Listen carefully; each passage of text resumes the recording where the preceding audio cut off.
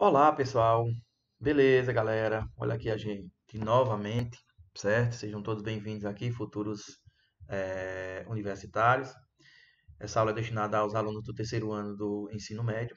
E a gente vai falar hoje sobre fitormônios, beleza? É, esses fitormônios nada mais são do que hormônios vegetais, por isso esse termo fito, certo? O que são esses hormônios? Hormônios nada mais são do que mensageiros químicos. A gente sabe que os vegetais eles não possuem um sistema nervoso.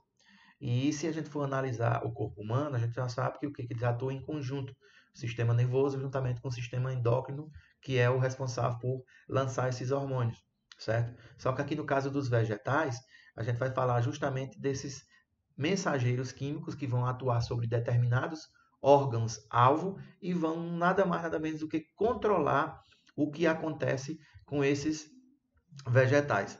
Beleza? É, então, é, quais são esses hormônios vegetais? Esses hormônios vegetais, pessoal, eles têm a função justamente de regular e coordenar certo? os inúmeros processos vitais, como por exemplo, a planta está crescendo, a planta ela abre os estômatos, a planta amadurece os frutos, cai as folhas, certo? Então, assim, tudo isso que acontece, que a gente estudou lá na parte de histologia, organologia, fisiologia, tudo isso vai ser controlado por quem? Por esses indivíduos aqui que são chamados de hormônios, certo? São esses camaradas aqui que vão controlar tudo o que acontece nos vegetais. Beleza? Em se tratando dos hormônios, nós temos cinco grandes grupos. Quem são esses grupos? Nós temos as alcinas, auxinas, as giberelinas, as citocininas, o gás etileno e o ácido abscísico. Então, são esses cinco tipos de hormônios que a gente tem que vão controlar é, tudo o que acontece na planta, beleza? Então, vamos aqui. Ó. Primeiro deles, que é um dos mais importantes, na realidade, é, são as auxinas. Essas auxinas, você já pode pegar aqui, ó. A vem de quê? Vem de alongamento, certo? Então, a principal função das auxinas nada mais é do que promover o crescimento geral da planta. Só que a planta ela pode crescer de dois tipos. Ela pode crescer alongando as suas células, que no caso as auxinas elas vão atuar sobre a rigidez da parede celular, fazendo com que essa parede celular ela fique menos rígida e promove o alongamento dessas células. Então a auxina ela vai atuar justamente nesse crescimento por A, alongamento. Beleza? Quais são as demais funções das auxinas? Onde é que essas, essas, esses hormônios eles são produzidos? Pessoal, eles são produzidos nos meristemas apicais da raiz e do caule. Só que eles são produzidos em quantidades diferentes. Por quê? Porque uma quantidade grande estimula o crescimento do caule. E uma quantidade grande essa mesma quantidade grande inibe o crescimento da raiz. Consequentemente, uma quantidade pequena de auxina inibe o crescimento do caule e aumenta, né, propicia o crescimento da raiz. Certo? Então, onde é que a gente vai ser, onde é que a gente vai encontrar essas auxinas? Nos meristemas apicais do caule da raiz, nas sementes em germinação, certo? Que elas é, trabalham justamente nessa questão de, de, ajudar na germinação da semente. Só que quando eu falo de germinação da semente, aí eu já vou estar falando de giberelina, a gente vai ver mais na frente, certo? Você vai encontrar onde? Nas folhas jovens, certo? Por que, que vai encontrar nas folhas jovens? Porque é, se você tiver uma determinada folha uma grande quantidade de auxina, essa folha ela não vai cair, Tá entendendo? Agora, se tiver uma pequena quantidade de auxina, é que significa dizer que essa folha ela não, é, não é tão jovem. Então, consequentemente, ela vai ter uma chamada abscisão. Tem o ácido abscísico, que é outro hormônio, ao qual a gente achava que a abscisão das folhas, que é a queda das folhas, era relacionada a ele, a esse ácido abscísico. Mas não é. A queda das folhas está relacionada à quantidade de auxina presente nessa parte do vegetal, certo? Por quê? É, naquele pecíolozinho, naquele talozinho que a gente observa, pegando do limbo até o caule. Então, se tiver uma grande quantidade de auxina, a folha ela não vai cair. Se tiver pequena quantidade de auxina na folha, a, é, é, a folha, consequentemente, vai cair. Beleza? Onde é que a gente vai encontrar também? Ó, nos tecidos de cicatrização. Nos frutos você vai encontrar, porque eles estão associados à questão da produção de frutos e principalmente naquela questão dos frutos partenocárpicos. O que, é, o que são esses frutos partenocárpicos? A gente sabe que para poder ser produzido um, um, fruto, nada mais é do que é, esse fruto com semente, né? Esse fruto com semente. Então, quando você tem um, um, um fruto que ele, que ele não é, certo? Da semente, originado da semente, é, de qualquer outra parte, por exemplo, do, do é, é, é, de outra parte da planta, aí a gente tem o que? Um chamado fruto partenocárpico. Né? Só lembrar daquela, daquela reprodução que dizia que é a chamada partenocarpia. Lembra? Então, por que, que é partenocarpia? Porque a partir de, do gameta feminino originavam é, um novo ser. Beleza? Então, não tinha a junção do, do gameta masculino com o feminino. Aqui é justamente isso certo? Essas frutos partenocárpicos. E em alguns fungos também. Beleza, continuando, vamos aqui, ó.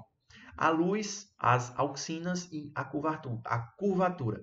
A partir daqui a gente já está, né? Já pincelamos, mas aqui a gente vai aprofundar com relação à questão das funções das auxinas, certo? É... Eu não sei se vocês já ouviram falar, mas vai ser nosso próximo trabalho, nossa próxima aula, que são os movimentos vegetais, certo? Existem os movimentos que são chamados de tropismos. São movimentos da planta em direção a determinados estímulos externos, beleza? Então, as auxinas estão diretamente relacionadas a essa questão dessa é, movimentação de quê? Dessas plantas. Então, ó, luz, auxinas e, e curvatura, certo? Esse cole, coleóptile, nada mais é do que essa partezinha aqui, ó, certo? É, nada mais é do que a gema, aquela primeira gema, certo? Que vai acontecer o seguinte, preste atenção. Aqui é o seguinte, o, a auxina, ela tem uma espécie de uma fobia de luz.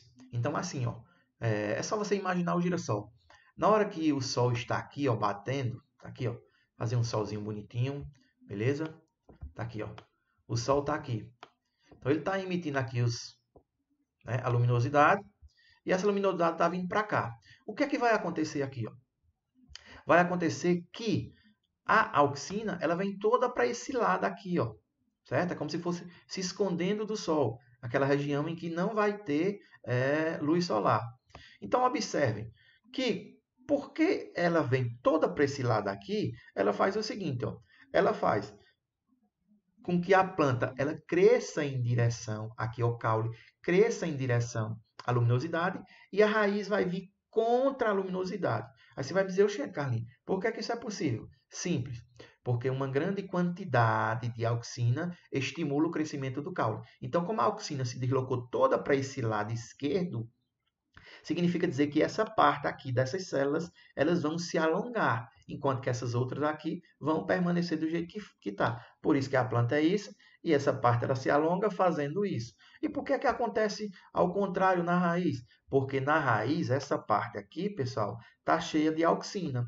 Então, quando você tem uma alta concentração de auxina, essa auxina é inibidora de quem? Do crescimento da raiz. Essa grande quantidade, logicamente. Então, essas células que estão aqui com pouca auxina desse lado vão estimular o crescimento da raiz. Por isso que o caule cresce em direção à luz e a raiz contra a luz. Dizemos né, que seria o quê? Um chamado foto, porque tem a presença do Sol, tropismo com relação ao movimento. Então, é um fototropismo positivo do caule e um fototropismo negativo da raiz. Isso é nosso próximo objeto de estudo, pessoal. Próxima aula, só para mostrar para vocês. Beleza? Então tá aqui, ó. Isso que eu falei, ó, grande concentração de auxina aqui, estimula as células a se alongarem, as células do caule, e aqui na raiz vai fazer justamente isso, beleza? Continuando, tá aqui, ó, mostrando da mesma forma para vocês, ó. Certo? A raiz, é, Dentre essas auxinas, como a gente já falou, são cinco grupos, pessoal. São cinco grupos gerais: auxinas, giberelinas, ácido abscísico, gás etileno e citocinina. Então, esses cinco grandes grupos, no caso das auxinas, nós temos um que é, é, é bem conhecido, que é o AIA, que é justamente esse aqui, ó, é o ácido indolacético, certo? Então, olha, nem sempre estimula o crescimento, podendo também inibi-lo, como é o caso da raiz e do caule, né? Dependendo da concentração.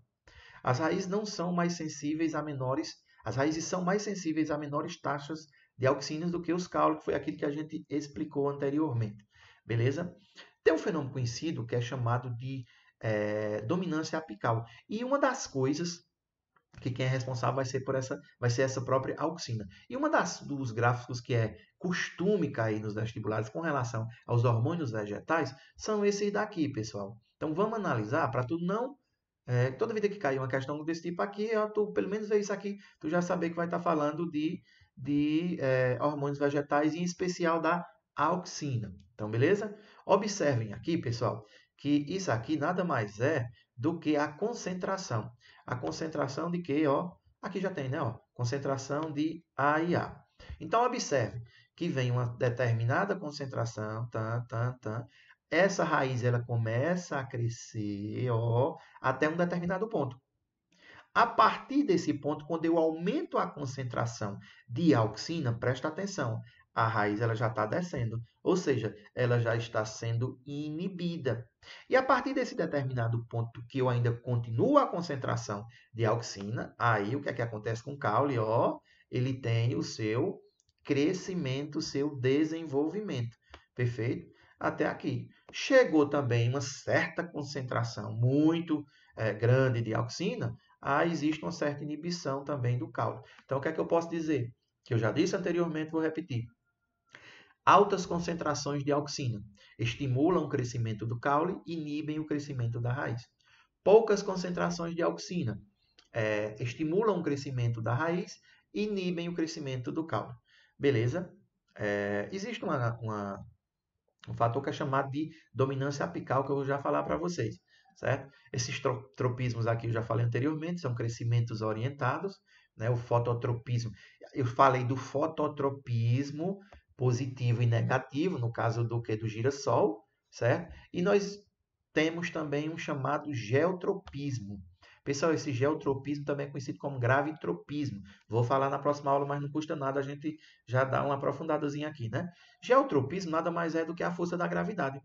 Então, se você colocar uma planta assim, a tendência é que ela cresça, certo? O caule venha para cima e a raiz ela venha para baixo, certo? Portanto, se você pegar um vaso, já foi questão do vestibular, você pegar um vaso, deixa eu ver se tem aqui. Você pegar um vaso de uma planta, aqui ó, Peguei um vaso de uma planta, certo? Esse vaso dessa planta aqui, ó. Observe que a planta ela vai crescer, ó, para onde, ó? Para cima e a raiz vai crescer para baixo, se você deitar esse vaso de planta dessa maneira. Vai dizer, por quê, cara? Vamos lá. A força da gravidade faz com que a auxina ela desça. Então, quando a auxina ela vai descer aqui, ó, presta atenção, ela vai se acumular aonde? Nessa parte do caule, certo? Quando ela se acumula nessa parte do caule, o que é que vai acontecer? Lembrem-se, quantidade grande de auxina faz com que o caule ele se desenvolva. Então aqui essas células do caule, elas vão se alongar e faz com que a caule cresça, certo? Conhecido como geotropismo positivo. E a raiz, como é que ela vai ser? A raiz, a concentração, ela vem para cá, né? Observe, ela está aqui, ó. A concentração ela vem para cá. Então, como ela tem concentração de auxina aqui, o outro lado é quem vai crescer. Então, é justamente esse lado que vai se alongar, né? Se aprofundando em um chamado geotropismo negativo. A gente vai ver isso nas outras aulas. Por enquanto, vamos falar só de quê? Dos, das auxinas. Quais são as outras funções do ácido indolacético, que nada mais é do que uma auxina? A formação do fruto, certo? Ó, atua na formação do fruto, no enraizamento de determinadas estacas. Se você quiser pulverizar determinadas estacas com auxina e enraizar essas estacas, logicamente elas vão participar daquela. É, é justamente o mecanismo de propagação vegetativa, certo? Atuam também na questão da queda das folhas. O que é, que é essa questão da queda das folhas, pessoal? aquilo que eu disse, né? Elas é, é, inibem o crescimento dessa, o, a queda dessas folhas, porque uma grande concentração de auxina na folha, a folha não vai cair. Então, quando ela, essa folha ela vai perdendo né, a auxina, ela vai ser responsável pela questão da abscisão, beleza? Pouca quantidade de auxina. Esse fenômeno conhecido como dominância apical, isso é altamente interessante. Dominância apical ou inibição apical. É, eu não sei se vocês já viram, pessoal, mas assim, quando você tem é, vegetais que são cultivados com o intuito de coletar os frutos, eles fazem uma espécie de quê? De uma poda. Tipo assim, a planta está aqui, eles vão podar aqui essa parte, certo? Nessas gemas apicais, lá no finalzinho do caule. A partir do momento que ele arranca essa gema aqui, ele está tirando a alta concentração de auxina. E vai fazer com que esses ramos laterais, eles se desenvolvam. Então, se você deixar uma planta sem podar ela, que é aquele. Se vocês já viram, né? Aquela galera da, da, da prefeitura é, faz, vez por outra, no, nas, naquelas árvores de agaroba, né? Como se fala vulgarmente. Não sei nem se é esse nome. Enfim, eles vão podar a parte de cima, justamente para ela poder crescer nas laterais. Então, se você deixar uma planta sem podar, ela vai crescer longitudinalmente. E as partes axilares, certo? Elas não vão se desenvolver tanto. Por quê? Porque a quantidade de auxina na parte de cima vai justamente inibir com que os ramos laterais eles cresçam, certo? Esse fenômeno é conhecido como dominância apical, certo? Aqui mostrando para vocês a questão do enraizamento de determinadas estacas, justamente por conta de que dá auxinas, ó, certo? É um fenômeno conhecido como abscisão foliar, que eu falei para vocês, certo?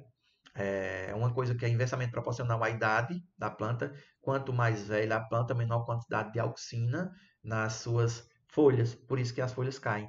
E quanto mais novinha a planta, maior quantidade de auxina. Por isso que tem um, um, é, é, é, essas plantas elas são tipo perennifólias, ou seja, que permanecem com suas folhas, certo? Dominância apical, aquilo que eu falei para vocês, ó, você pegar a gema aqui, ó, se você cortar essa parte aqui, tá vendo? Ó? Aí você vai estimular o crescimento das gemas laterais, certo? Se você não cortar, ela vai crescer longitudinalmente. E aqui é a formação dos frutos, né? Existe essa formação do, do, do, fruto, justamente o ovário vai se desenvolver, certo? É... Já falamos. Agora a gente vai falar um pouquinho sobre giberelinas. Pessoal, giberelina, ó, giberelina vem de G, ó, mais um mecanismo de, memorização, vem de G. G significa o quê? Germinação de sementes. Então, as giberelinas, juntamente com as auxinas, elas participam do processo de quê? De crescimento desse vegetal. Detalhe, a partir daqui das giberelinas e das citocininas, essa, elas estimulam o crescimento vegetal por divisão celular. Só que as giberelinas também estimulam o crescimento vegetal também por alongamento. Então, a giberelina estimula o crescimento vegetal tanto por alongamento como por divisão celular, certo? estimula o crescimento do caule. As plantas que não possuem giberelinas são chamadas de plantas anãs, certo? E onde é que você vai encontrar? Nos órgãos novos das plantas, nas sementes em germinação. Ora, minha gente, se é giberelina e tem um G, está relacionada ao que? A germinação, certo? De sementes. Meristemas e raízes. É, outras funções. Indução da germinação, como eu falei para vocês, né? ou seja, ela é responsável pela questão da quebra de dormência, certo? É... responsável pela floração também dessas plantas, formação dos frutos juntamente com as auxinas, a partenocarpia forma esses frutos também, certo? E o desenvolvimento de certos frutos juntamente com as auxinas, contribuindo com as auxinas, que são os principais. O gás etileno, o que seria esse gás etileno? Pessoal, o gás etileno é o único hormônio que vai ser gasoso, certo?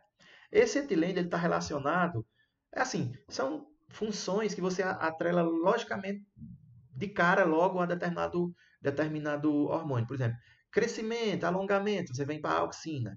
Germinação da semente, que é a quebra da dormência, giberelina. É, amadurecimento dos frutos, está relacionado a quem? A etileno, certo? Então é produzido por diferentes tecidos vegetais, é um hormônio casoso, e tem a sua produção, pode ser endógena e exógena. O que é que significa endógena? Porque a, as partes da planta né, interna, elas vão produzir. E exógena é quando é estimulado por fatores externos. Por exemplo, não sei se vocês já viram, mas aquela determinadas casas no sítio que tem, que tem plantas frutíferas perto de, de fogão a lenha, esses frutos eles amadurecem muito mais rápido do que nas condições naturais. Por quê? Porque a queima ela vai produzir é, é, gás etileno, certo? É, quais são essas funções aqui, ó? Certo? A indução da abscisão foliar, justamente para o quê? Para poder é, o fruto, se o fruto está amadurecendo, logicamente ele vai fazer o quê? Ele vai cair, né? É, a indução da floração, é responsável pela floração, certo? E a, a principal estimulação da maturação dos frutos, beleza? Tá aqui o amadurecimento, ó, e a abscisão. Se vai amadurecer, logicamente ele vai ter que cair, né? Aqui, ó, a queima de, de da serragem, ela propicia o, o, o, a produção tanto de CO2 como desse gás ó, ó, etileno. Aí você vai dizer assim, Carlinhos, eu li na apostila que se você quiser estocar determinados frutos, fazendo com que eles não cresçam muito, é só você fazer o seguinte: é só você colocar ele em baixas espécie de câmeras com baixas temperaturas e armazenados também a, a, a, na presença de, de CO2. Perfeito. Só que aqui, pessoal, quem está produzindo o etileno é a queimada, tá entendendo? O CO2 ele vai fazer com que a planta não produza etileno. Só que o etileno já está sendo produzido aqui pela queimada. Então vai acontecer o amadurecimento desses frutos, ok? Então aqui então observe para vocês aqui, ó, câmeras de, ama de amadurecimento, certo? E aqui são as câmeras de armazenamento. É só colocar em baixas temperaturas e na presença de CO2 que você faz com que esses frutos não, não é, produzam etileno. Por exemplo, se você quiser, se você quiser amadurecer determinado fruto rápido, o que é que você faz? Você não coloca ele na geladeira. Porque se você colocar ele na geladeira, você vai submeter a baixas temperaturas e vai o quê? Inibir o gás etileno. O fruto, mesmo depois que ele sai do pé, como a gente fala, né, ele ainda continua fazendo, fabricando etileno. Então, o ideal que você quer amadurecer é colocar ele num saquinho é, de plástico ou num saquinho de papel e fechar. Porque aí esse, esse papelzinho, esse, esse saco, ele vai ficar. Pode observar que ele vai ficar um pouco úmido. Por quê? Porque essa, esse fruto ele vai estar tá produzindo etileno, gás etileno. Perfeito? Que vai propiciar o amadurecimento desse fruto. As citocininas, pessoal. Quem são as citocininas, hormônios vegetais? Tem como principal função, galerinha, não tem como errar, ó, C de citocinina, citocinese. O que é que significa citocinese? tem a ver com divisão celular. Então, a citocinina estimula a divisão celular de quem? Das células. Então, está diretamente relacionada ao crescimento do vegetal por divisão de suas células. Cuidado você não, não confundir. Auxina, crescimento vegetal. Como? Alongamento. As giberelinas, crescimento vegetal. Como? Tanto na parte de alongamento como na parte de divisão celular. E as citocininas, apenas divisão celular. Beleza? É produzido principalmente nas raízes, então, logicamente, se vai ser produzido pelas raízes, vão ser transportados por quem? Pelos hã? vasos é, liberianos, certo? Encontrada na água de coco, por exemplo, fizeram um experimento, né, como ela é responsável pela criação do crescimento vegetal, fizeram um determinado crescimento, um, um experimento, e pulverizaram determinada planta com água de coco. Então, na água de coco, é um, você vai encontrar uma grande concentração de citocinina e vai estimular esse desenvolvimento desse vegetal, ou seja, as divisões celulares. Por último, nós temos o hormônio do estresse, que é o chamado, ácido abscísico. Por que, que ele tem esse nome, pessoal, de ácido abscísico? Porque antigamente achava que a abscisão foliar era ele quem era responsável. E na realidade não vai ser, como a gente falou anteriormente certo? Então eles são hormônios que praticamente é antagonista ao, às auxinas. Enquanto as auxinas promovem é, é, o crescimento, eles fazem uma espécie de inibição. Então, ó, produzida em folhas maduras em resposta ao estresse hídrico, por exemplo. O que é que eu falei que é o, o hormônio do estresse? Vamos lá. É, em determinadas condições, em questão de, de água, por exemplo, a planta está lá em determinado ambiente e ela não tem água. Tem uma baixa disponibilidade de água. Então, se ela tem uma baixa disponibilidade de água, ela não vai fazer com que os estômagos fiquem abertos, porque senão ela vai perder água. Então, ela se fecha. Quem é responsável pelo quê? Pelo fechamento dos estômagos? Esse ácido abscísico, certo? Outra coisa, enquanto você tem a giberelina, que vai estimular a questão de que do, da germinação da semente, nós temos o ácido abscísico que faz o contrário. Ele estimula a dormência da semente, certo? Então, aqui, ó, outras funções, ó, é, estão relacionados, logicamente, também essa queda de folhas e frutos maduros, mas não são os principais responsáveis, e estimulam esse estado de dormência em plantas, certo? No caso do frio. Beleza, pessoal? Então era só isso que eu tinha para falar com vocês. Não existe outra maneira da gente aprender, assimilar o conteúdo, se não for resolvendo os exercícios. Beleza? Então, assim, estou novamente digo, aberto a críticas, a sugestões, a elogios. E se quiserem nos encontrar né, com a gente pelo Google Meet, é só dar o toque, certo? E passo aqui, deixo para vocês os exercícios de, da apostila e do caderno de atividades referente aos fitormônios. Então, pelo amor de Deus, nem me perguntem, não precisa nem perguntar a página. Então, analisem aí e façam os exercícios, tanto do apostila como do caderno de atividades. Na próxima aula, na aula da próxima semana, a gente estará vendo a parte dos movimentos vegetais para poder encerrar esse conteúdo do segundo bimestre e retomar aquela parte que a gente ficou sem trabalhar, certo? Só lembrando que a partir de, desse momento, certo? É, quem vai ficar com a biologia toda, tanto aquela parte que ficou de biologia 1 como biologia 2, sou eu. Beleza, pessoal? Sem mais para o momento, meus sinceros agradecimentos aí e